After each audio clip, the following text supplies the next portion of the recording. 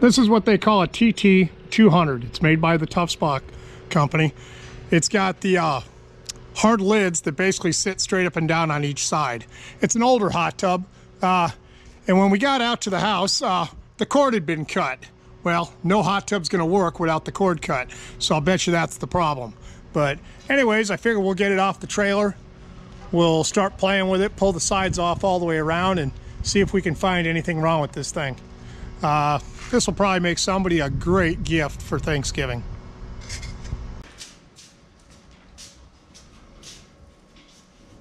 Now for the fun part.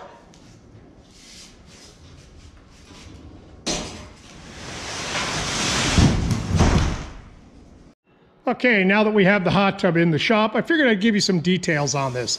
This is a Tuff Spa TT 200. It was made by Tuff Spa. They quit making this particular model approximately five years ago. So I want to say right around 2014 or 2015, they went to the new model. This hot tub from side to side is 60 inches and from uh, left to right would be about 72. From the bottom to this edge is about 29 and to the very top of the covers is about 36. So this is a cool, what they say is a two person hot tub. I call it a very cozy two.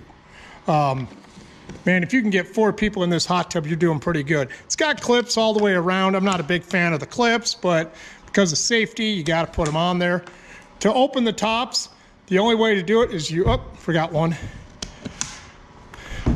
You lift here and then you gently let it fall.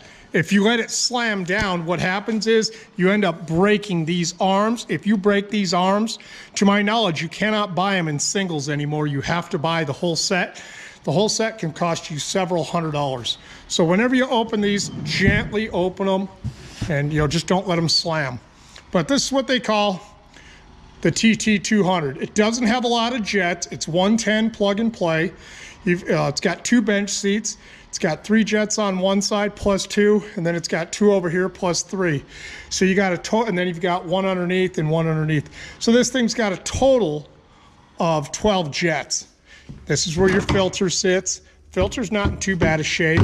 Then you got your suction down there. So anyways, these are a really cool two-person intimate hot tub. And like I said, this is what they call a TT 200. So we're gonna go ahead and open this thing up and see if we can figure out what's going on with it. Generally speaking, on all hot tubs, wherever this is, is where the uh, pump will be because that way it's got ventilation. Through here it says the drain and then over there on the other side that is where the cord comes out. So that just gives you a couple ideas. If you ever find one of these hot tubs that's used, they're not hard to fix up. As you see, I'm gonna fix this one up and then I'm gonna make somebody a smoking deal on it. Okay, first things first, whenever you're gonna work on a hot tub, find some place to put all the screws. Since these are already a little bit out, I'm gonna pull them the rest of the way out. That way I can do a thorough cleaning of underground. Ah. Looks like there's been rodents inside. So maybe, maybe that's why it doesn't work anymore. It's not hard to take the sides off the panels on a Tuff Spa come off very simple, and they come off the same way on every Tuff Spa model. It's just several screws, and like I said, usually underneath this would be where the motor is. So we're gonna figure out what's wrong with this thing, and okay, since this was loose, that tells me that possibly a rodent got inside. Seeing all this stuff all chewed up, tells me I am almost 100% certain that a rodent has been inside this hot tub. Okay, I figured before I get too far into this video, I'd give you guys some tips. Because of the mess it's already making, just because of all this styrofoam that looks like it was chewed up from here, I went and got my shop vac ready for myself. Another thing you want to do is up here, write the number one and on the back of this, write the number one.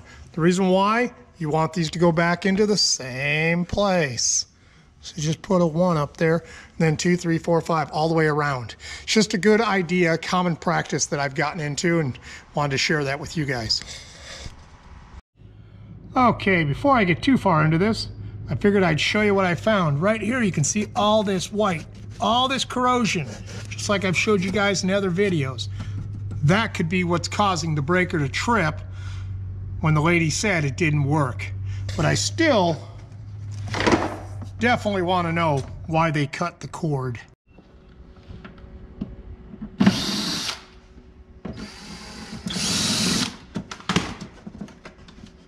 Come on. Well, the heater looks good, but look, let me show you. Okay, here's the sensors. You can kind of see where it's leaking water. Could be one problem, but this looks really good right here. All that looks good. Everything inside, even this. So we might just have to clean this up a little bit. So, huh. I wonder if there really is anything wrong with this thing. A lot of rodent crap down there though. So we'll go ahead and vacuum that out and get it cleaned up. And we'll work our way around.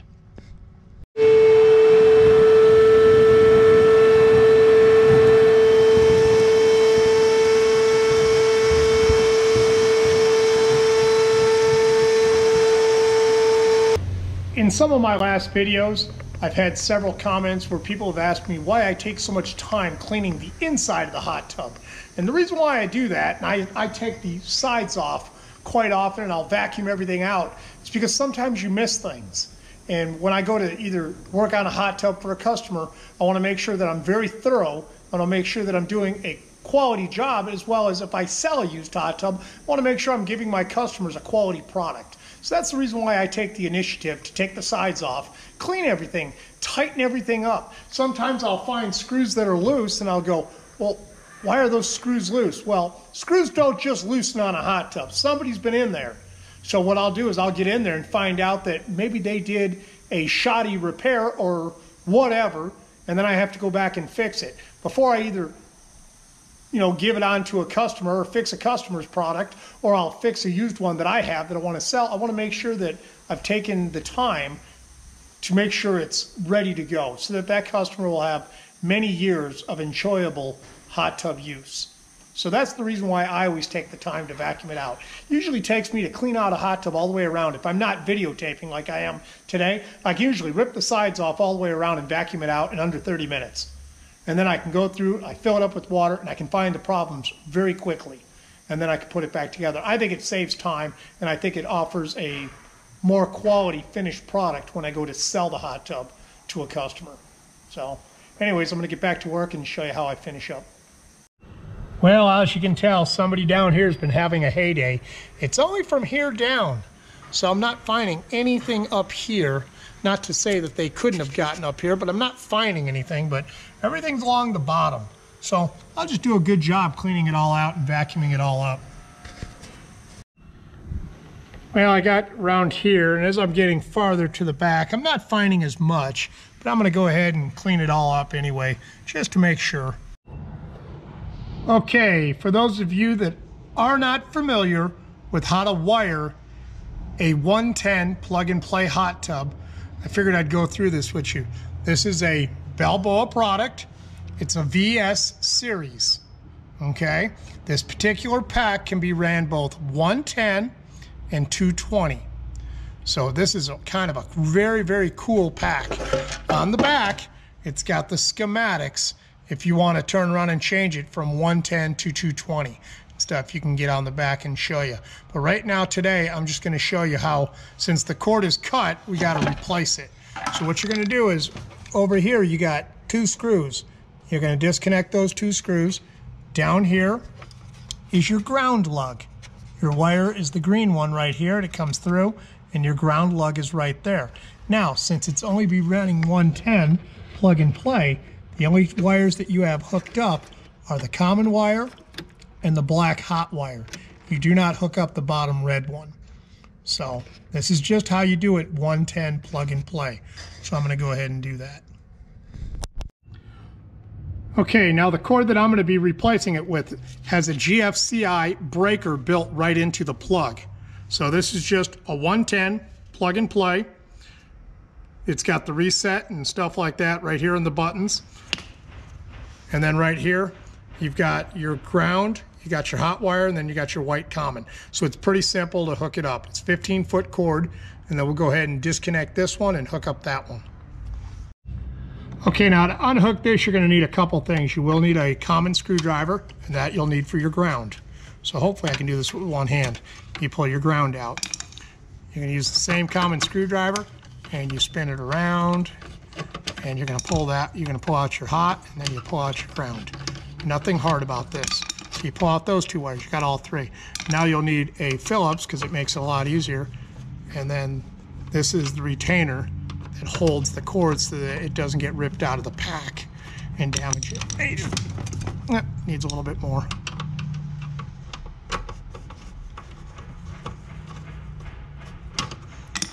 Okay.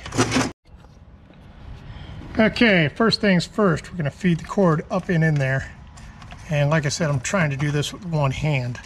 So hopefully I can. Without a doubt, I'm sure I can. Yep. There we go. Okay. That's all you're gonna do is repeat what it took to take it apart. Push the pieces back in there. You don't have to go crazy stuff. Tighten, tighten down your back part, which keeps it in place so that it doesn't move on you. Okay, I always hook up the ground first.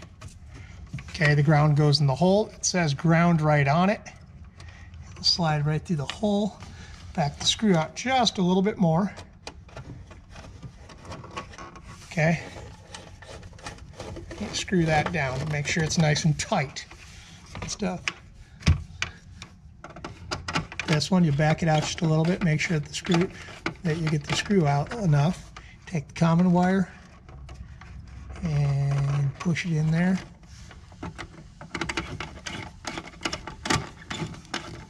As you can see, this ain't hard to do.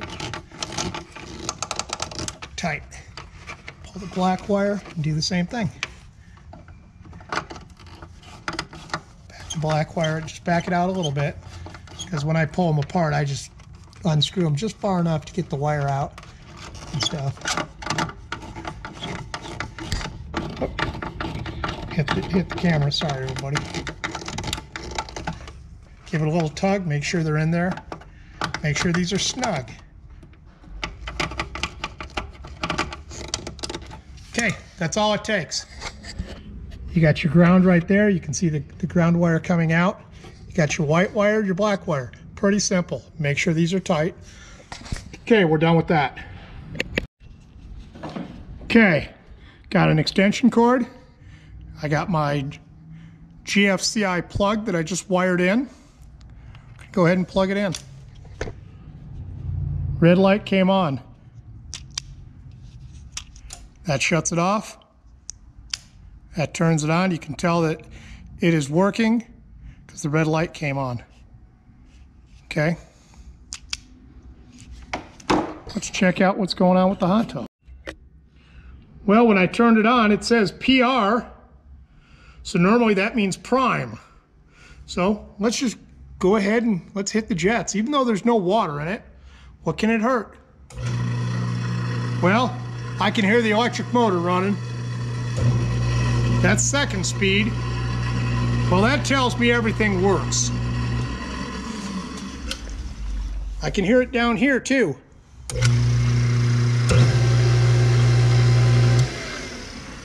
Well, I don't know about you, but let's go ahead and fill this sucker up with water and let's see what happens. What do you think? Before I go ahead and fill this thing up with water, I'm to suck out all the crap. I'm to take out the filter and I'm to suck all the water out of the filter area and clean it all up. No use putting clean water in a dirty hot tub.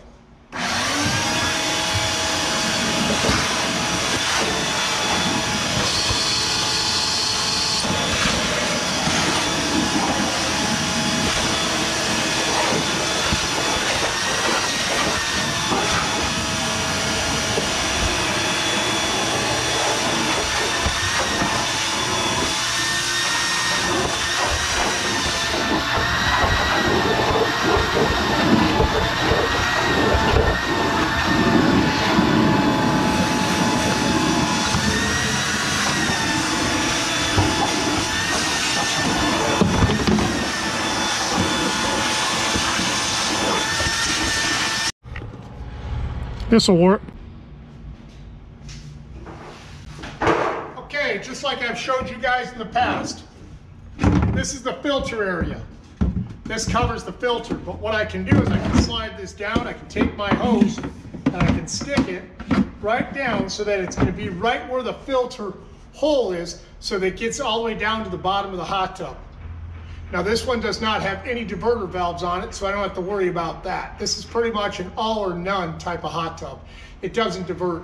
It does have air valves that turn off and on. I'm not worried about those. So we'll go ahead and turn on the water and see what happens.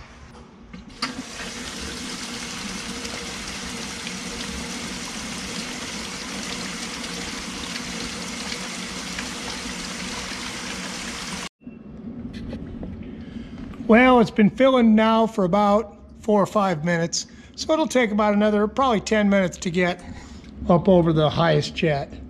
So we just need it to be a couple inches over. Well, we already have a leak right here. It's just this. And as you can see, this thing is loose. So that's all that is, is loose. I'll tighten that up and get rid of that leak. So anyways, yeah, we got one leak so far in all this water out here. So we'll go ahead and fix that. Well, I got the leak slowed down, but it looks like I'm gonna have to pull the heater tube out, clean up everything, and then put a couple of new gaskets in there. So not a big, big job. It'll just take me a couple minutes to do it. Well, as you can see, I had to empty the tub. So what I'm gonna have to do is disconnect this, I'll disconnect this, I'll put new O-rings in, in this one, in this one, and I'll probably put one at the uh, pump also. I just couldn't get it to stop leaking by tightening it. So I figured I'll take all that apart, clean it all up, put some new gasket sealer in there, and seal it back up and see if that fixes the problem. Okay, I've taken the heater out of the pack and it's pretty simple to do. You have one union right here and you have one right there. I just um, took the Phillips head screws out of the union and just split it apart so it would come apart.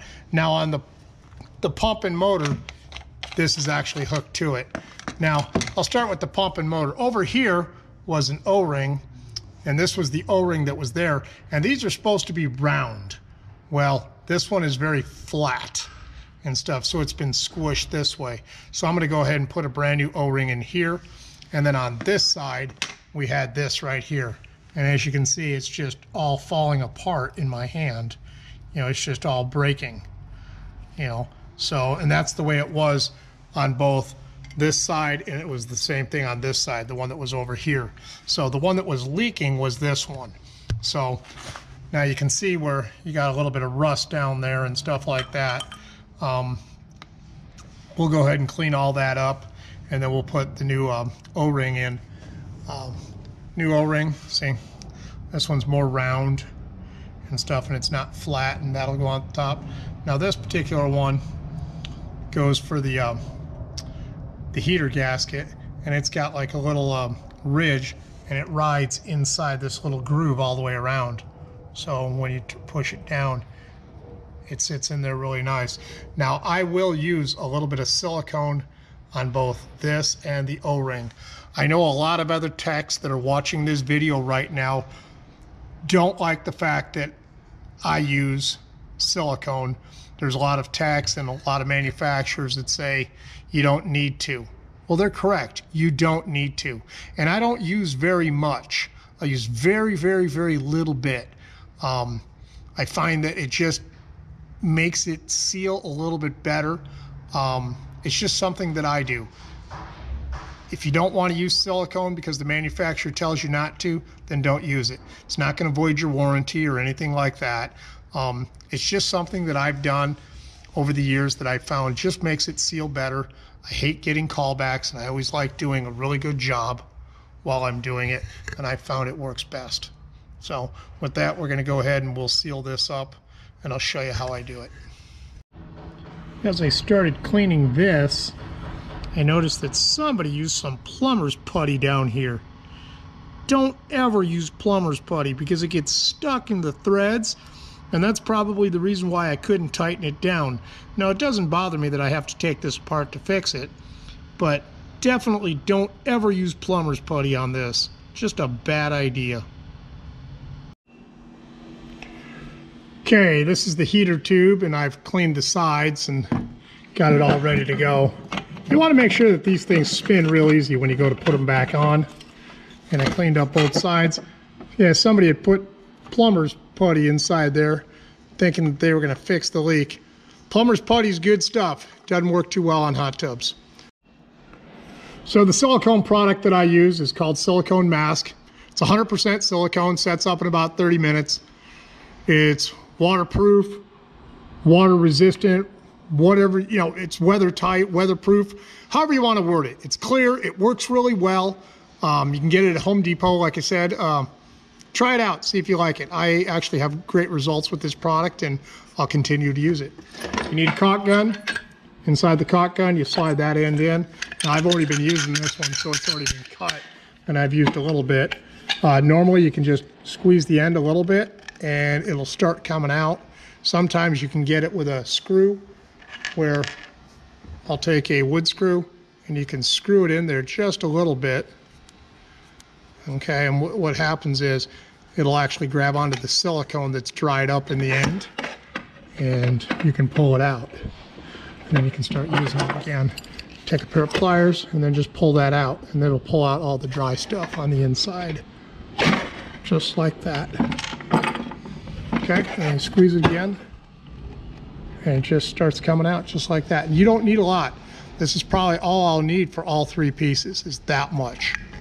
So what you're going to do is take the O-ring and just kind of put it around the O-ring. And that's all you do. You don't get, need a lot. Okay. Now the O-ring goes on this side and I'll push that in there. The O-ring goes on this side. Just push it into place so it all gets down there. Okay? Just like that.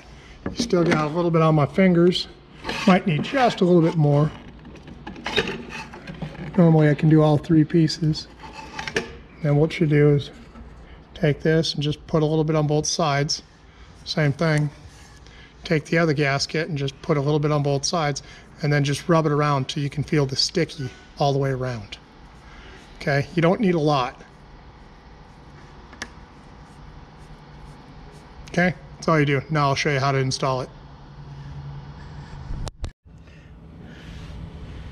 Okay, first things first. You're going to take your gasket that you've already put the silicone on and you're going to stick it over here on this side. Now you can see on this side there's a little ridge that goes all the way around. You can there's two sides to this gasket. Put it so that the little ridge is toward the piece. And see that's the reason why I use a little bit of silicone because it'll actually stay in place while I'm doing this. Okay, so I put that one in place first. Then what I do, this is the piece that's gonna go onto the pump. I've already put the silicone on that. I take this piece and I put it right here, just like so. Okay, since I know it goes on to this piece, I'm gonna put it on that piece and then I'm going to slide the connection into it, just like so. And I can turn it. I don't need to get it real tight. I just want it right like that. Okay, because what I'm going to do is I'm then going to slide this in. I'll get this lined up with the pump, and then I'll get this end lined up with over here. Okay.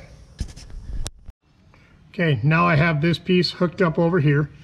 You're going to want to make sure that you open up this 3 8 just a little bit. It slides into right here and then the other one slides in at the bottom down here. So just make sure that you've backed out the nuts a little bit so they slide in. Then what we're going to do is we're going to slide the heater across and we'll hook it up here first. We'll get that threaded on and then we'll come back and we'll hook this one in. Then we'll last we'll do these. Okay? Try to show you this as best I can. Gonna slide it across.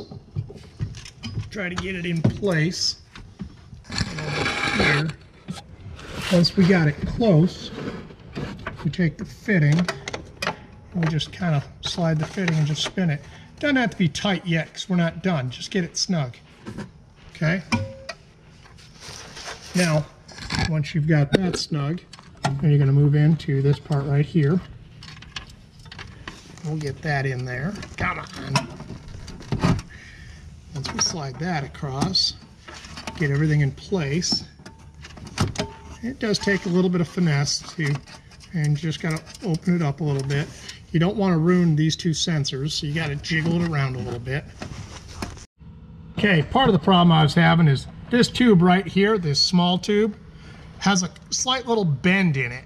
So I had to spin that around. Once I spun that around, all that went into place. And then this right here will go right into place. Really simple. So now I'll go ahead and tighten it all down and then I'll show you what I do from there. Okay, I now have this tight, I have this tight, and I have this tight. So all that's sealed up. Next thing we'll do is we will plug in our sensors. You got a sensor over here, and you got a sensor right here. I always run the wires underneath to get, get them out of the way. You got two blocks right here. Okay, the one on the left goes to the sensor on the left. Pretty simple. They just plug in there, no big deal. Pretty simple. Okay, now we'll go ahead and we'll do this. Now this, this particular heater has a 3 8 on the bottom with a 3 8 on the top. No big deal, but always use a 3 8 wrench or a pair of needle nose, something to grab onto this so that you don't twist these off. If you twist them off, game over. You got to replace either the tube if you want to, but you definitely have to replace the um, heating element on the inside. Now, I'm going to ohm out this before I put it back together just to show you guys how I do it. But it ohmed out to 15, which tells me it's a 4.0 kilowatt heater. Okay? So what I have is my ohm meter. It's just made by Milwaukee. I like these the best. They're about $129 for a meter like this on eBay. I think these are the best for doing just the type of electrical work that I do. So we're going to go ahead and set it on ohms. Right down there. Go ahead and show you kind of what happens. It's on low. Okay. When I touch the two probes together, right here, should be 15. 15. That tells me that the heater should work properly. I can also tell if the connection is good by going down to sound, which is right here. What we can do is we can, like that, when you touch the two probes together, it sings. So we can go ahead and do that with the with the uh, heating element also. So that's a couple different ways to tell if your heater is good, or it should be good. Okay, so we're going to go ahead and put the screws or the nuts back on top, bolt it all together. Okay, this part's pretty simple. You just push them back down on top. 3 8 nut. And the nut's got a little bitty washer on the back that'll hold it in place. Now you don't have to have gorilla hands with these and wrench the crap out of it with your wrench. Just get them so they're snug. Okay. just like that. I'll go ahead and tighten those down with a wrench. Okay, just a quick little recap of what we've done. We replaced the gasket here. We pulled the heater tube out and cleaned everything. We checked the continuity on the heating element. It appears to be good, so that's a good sign. We reconnected the um, sensors, checked those out. They appear to be really good. We put a new gasket here. We cleaned out the threads on both this this union and this union, cleaned out all the, looks like it was plumber's putty, but who knows what it really was. We cleaned out all that and then we put cleaned out all this and put a brand new O-ring there. We used just a little bit of silicone to seal it all up. Now we're gonna go ahead and start filling this thing up again and see if we can get it fired up. So, well, this thing's filling up pretty quick. We're about halfway up and not a drop near the pump. Nothing under going on right here. And when I come across, Nothing over there. So I'm very, very pleased. No leaks. So hopefully this thing will be filled up in the next five, 10 minutes and then we'll fire it up. I'll show you how kind of a hot tub we have here. This is gonna make somebody an awesome hot tub. You guys are not gonna believe this. I found another leak, but it's not coming from any of this. So I'll show you where it's coming from. This sucks. And I was about halfway full with the water, but if you look way in the back, you look right underneath this white fitting right here. I don't know how well you can see it. You can see it dripping.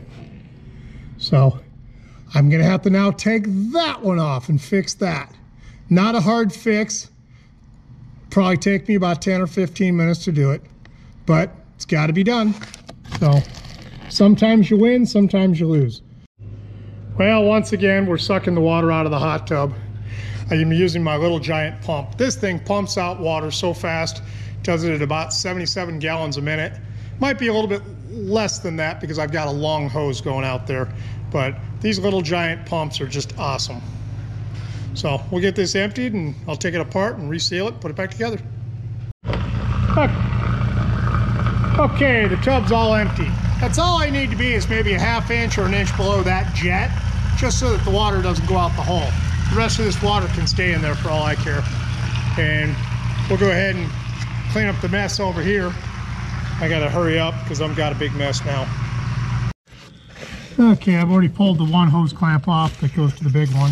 That one was right here. There's another little hose clamp right here. I pulled that one off. And as you see, this thing moves all over the place. You can see the jet is just not tight. So I'm not just going to be one of those guys that tightens it up. I'm actually going to pull it apart, put a little silicone on it, screw it back together. That way, when it goes off to a new customer, I'm not going to get a call back.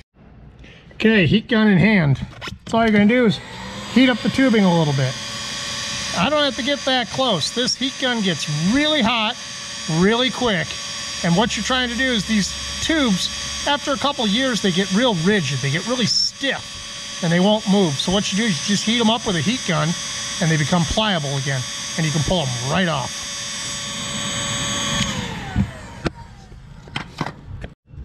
Okay, now if I move this tube around, I can see the water moving around inside the tube.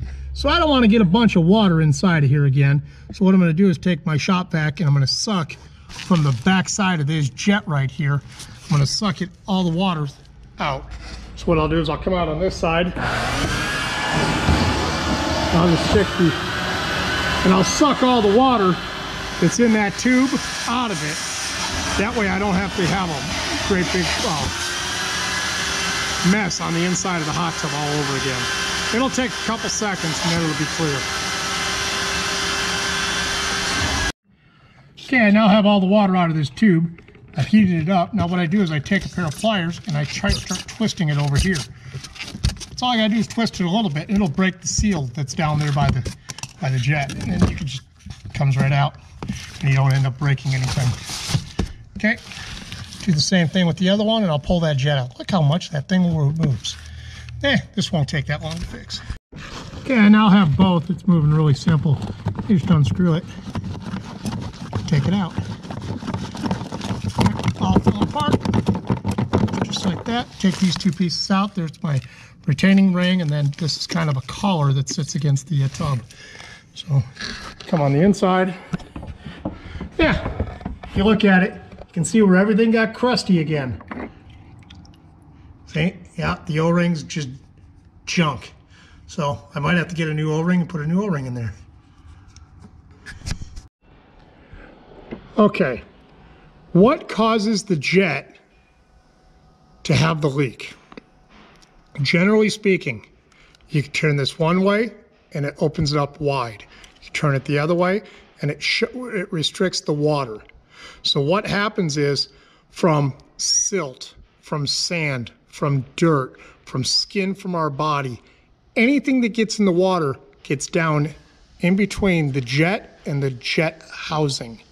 Okay, and then somebody tries to turn it, uh, they're trying to turn it, and what happens is they turn this and it didn't turn this, it turned the jet housing and it broke the seal between the hot tub and the jet housing. So what happens is, like now, I mean, this thing was so stiff when I pulled it apart, it wouldn't move. Now, comes out no problem. You just pull it out. Then when you put it back in, just be gentle. You got little bitty clips right here. You don't want to break these clips, okay? So when you're putting it back in, just look for these clips. If these clips are broken right here, that's the reason why your jet keeps falling out. So you always want to check the little clips. If they're broke, you need to get new ones. Or I can tell you a quick fix. You can actually cut these off. So you can cut you can cut this little tab off. You can cut this tab off. Now you can see where this right down here, the water comes in and if you turn it one way, you'll have solid. and the other way has a hole. If you go and cut the jet right here, you can turn around and just put a bead of silicone, push the jet in, let it set up overnight, and you just won't be able to turn it off or on. Now, if you grab onto this and spin it, it's going to come out, of course. But that's a cheap way to just fix a jet. So anyways, I've cleaned it all out. I've got all the sand out of there. You gently push it in to where it'll, you got to spin it to where you find where it actually goes in at. There's where it goes in. And you see, I can still pull it out. Then you turn it all one way and you turn it the other way. If I keep, it's got like, I call it like a speed bump. It goes one way, goes the other way. And then if you keep going counterclockwise, so if you keep going counterclockwise, you can hear that little click. That's kind of like the speed bump. Go past the speed bump and then the jet will come apart. Put it back together and you just, so that's kind of the analogy of a jet. Hope that helps.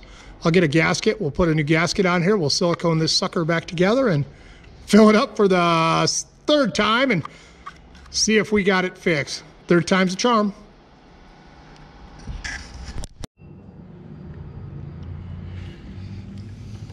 Okay, just like in my other previous videos, we're going to use the Silicone Max.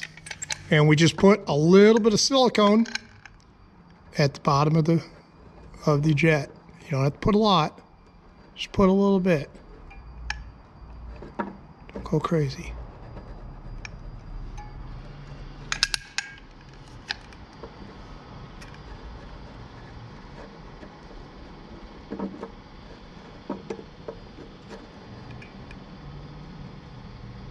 Okay, just like that. We'll take it. Just take your finger and just push it around.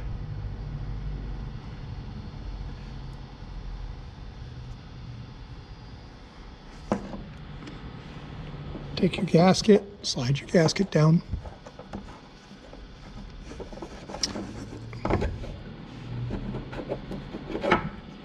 That'll make it seal really good, just like that. Take the excess that's on your finger and just wipe it around the gasket really quick. Nothing fancy. You don't need a lot of silicone. You just need a little bit. Okay. Now I'm going to show you something about this gasket. This gasket is, a, is an L-shaped gasket. In other words, it goes down and over. It's not flat.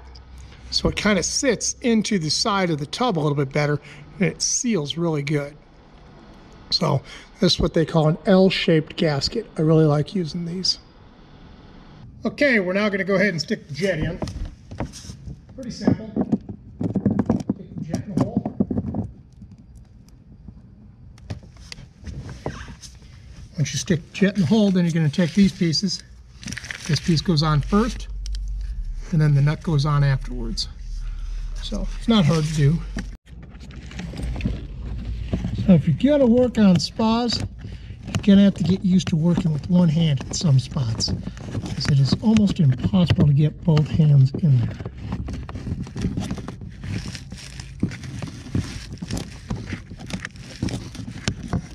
And just like that, it's tight.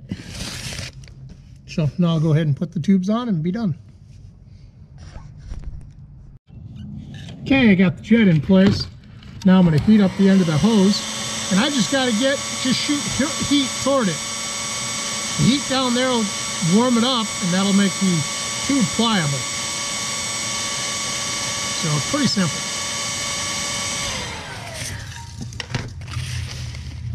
Oh yeah, nice and squishy. Now I'll just take a little bit of glue. I don't need a lot.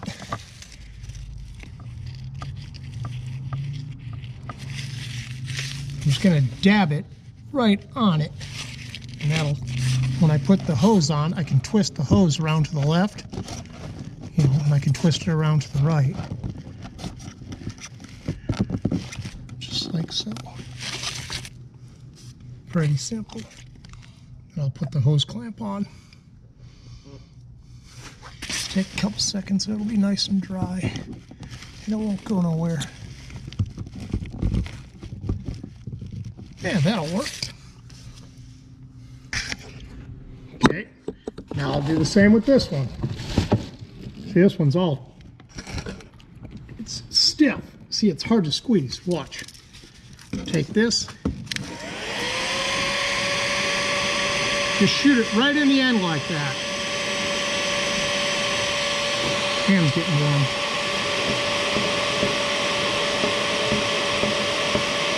Doesn't take very long. Okay, now watch. See how nice and squishy it becomes? Okay, take a little bit of glue again. You don't need a lot. Just put, put it inside and just dab it around inside. Nothing fancy. And you just go ahead and you slide it right over the hose. Just like so. Okay. And you're going to take the hose clamp, get the hose clamp put into place. Just like so. And grab onto it with a pair of pliers.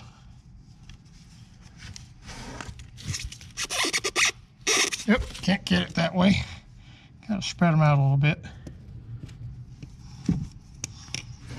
Okay. Or how you grab onto it just like that. Squeeze it together and slide it on. Just like that. Okay, I got both hose clamps on. I got the front one on and I got the one in the back. I got the nut on the back tight.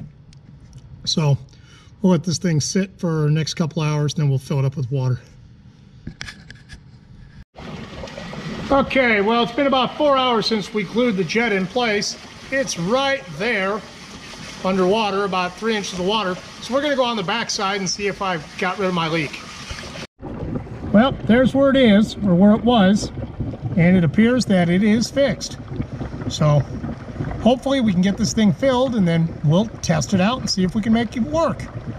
So pretty simple fix.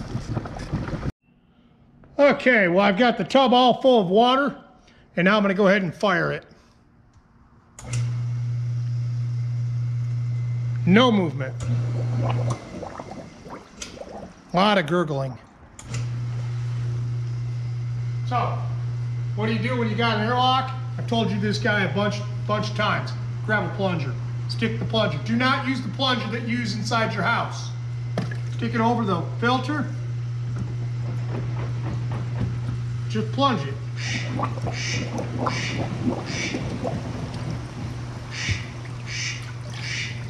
Voila, that's all it takes. Well, I now have the hot tub all up and running. If I hit the second jet, you got some power.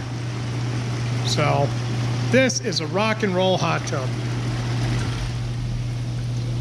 It's got a colored light down there, LED. So this is gonna be make somebody a super hot tub. So if you want to know what filter setting you're put, starting in, you go to temperature. You hit the temperature, it'll start flashing over here. Once it starts flashing, then you hit the jets once. Oop, didn't do it fast enough. Hit the temperature and hit the jets. Okay, we're on F1. F1 means it'll go all the way to 104. If we went down to F2, it'll only go to 85. And then you can go all the way around stuff. We wanted it in F1, that'll go to 104 degrees.